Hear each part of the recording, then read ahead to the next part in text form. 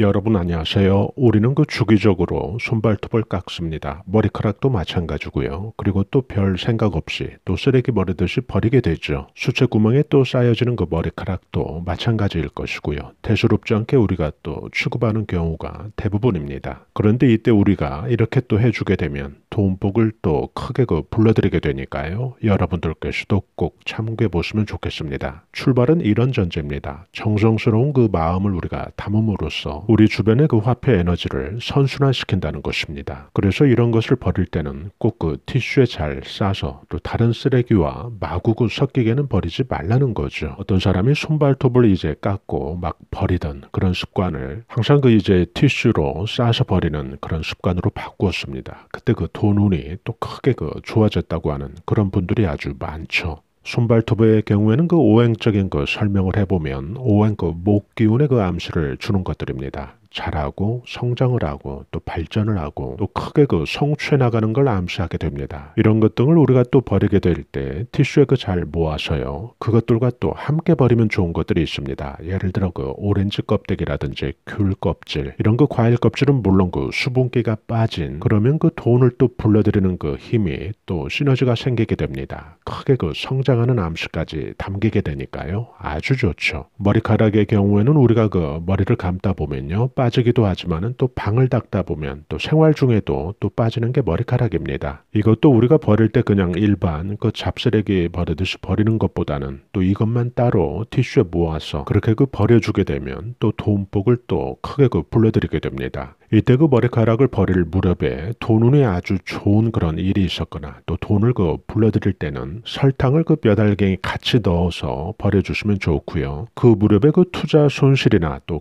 큰 지출이 있었다면 그런 경우에는 소금을 그 같은 요령으로 티슈에 그 버리려고 모아둔 그 머리카락이 있다면 이때 그 함께 넣어서 버려주라는 거죠. 그렇게 되면 또 아주 좋고요. 손톱이나 발톱 또 머리카락 이런 것 등을 버릴 때는 그래서 잘 버리면 우리가 그 돈복을 집안에 크게 그 유출시키게 됩니다. 그 이유는 그 이 속에는 바로 오행적인 그 의미가 예를 들어 그 손발톱 같은 경우에는 목 기운이고요. 털 같은 그 모는 오행이 금이지만은 또 모발이 그 발에 해당이 되는 그 머리카락은 오행 그 수의 암시가 담겨 있습니다. 목이라는 것이 성장과 발전의 암시라면 수는 또 금전운을 또 촉진시키는 그런 암시가 되니까요. 우리가 이런 것까지 또 염두에 두고 손발톱이나 또 빠진 그 머리카락이 그가 그 더럽고 또 혐오스럽기 때문에 그 버리는 건 아니죠. 일정 길이 자라면 또 우리가 생활에 불편을 느껴서 우리가 자를 뿐이죠. 마치 그 나무의 그 가지치기처럼 말이죠. 그렇게 잘라주는 그 인체의 그 부속물이기 때문에 우리가 좀 귀하게 다룰 필요가 있다는 것이고요. 그때 그 돈복에는 긍정적인 그 선순환을 또 불러드립니다.